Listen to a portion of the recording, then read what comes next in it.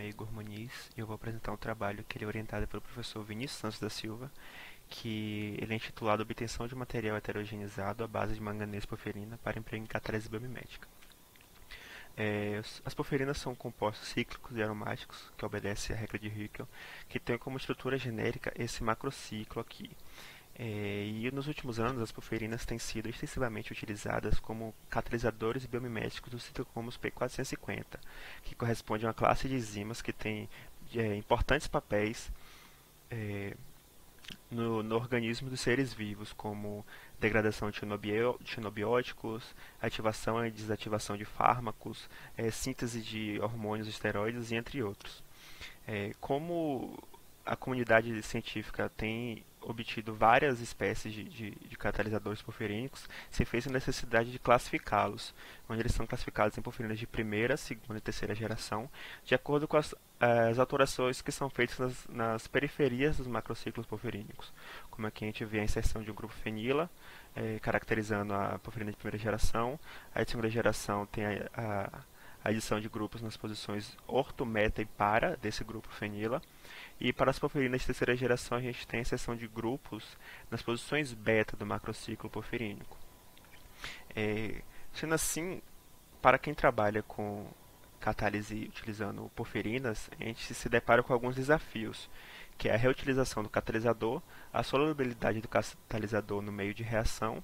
e também buscar evitar a inativação do catalisador pela formação de espécies mioxo, que é a espécie que tem ligantes em ponte, e também evitar a degradação oxidativa.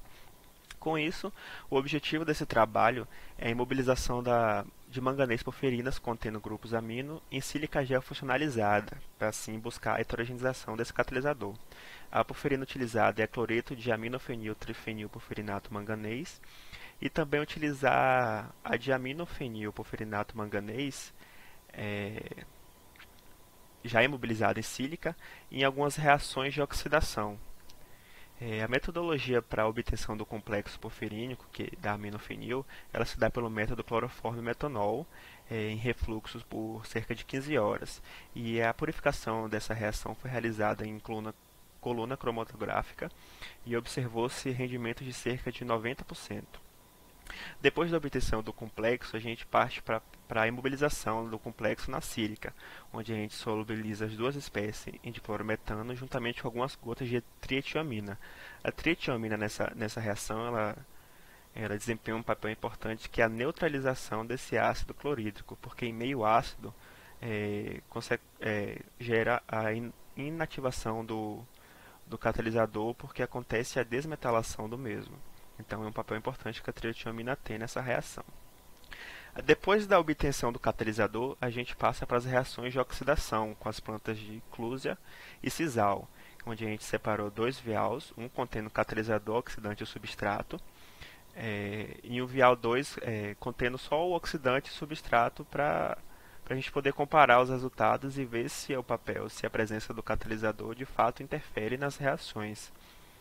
E assim a gente usou a diferença que a gente usou a proporção de 1 para 35 para a Clusia e 1 para 30 para o Cisal em quantidade de matéria. É, a caracterização da obtenção do complexo foi feita é, com espectros, espectroscopia de UV-Vis, onde aqui a gente pode observar o deslocamento batocrômico da, da banda SORE, é, diminuição das bandas Q devido ao aumento de simetria da, da espécie metalada e o surgimento de a banda de transferência de carga do metal para o ligante, que prova que de fato aconteceu a metalação do composto. Depois disso, a gente fez as cromatografias em câmara delgada para acompanhar reações de, de, de, catálise. E aqui antes e depois a gente vê que não teve diferença, o que demonstra que as reações não apresentaram resultados satisfatórios. No entanto, Apesar disso, a gente teve um complexo porfirínico com alto rendimento, cerca de 90%, e também, além de não ter sido tão os resultados satisfatórios para reações com, a, com o substrato de Cluse e Cisal, a gente não observou a lixiviação do complexo porfirínico depois da lavagem, o que mostra que o mesmo pode ser reutilizado futuramente. E também a gente observa um grande potencial catalítico para as espécies aminofenil, é, já que ela tem uma, um coramento diferente da diamino. Né? Aqui fica os meus agradecimentos e obrigado.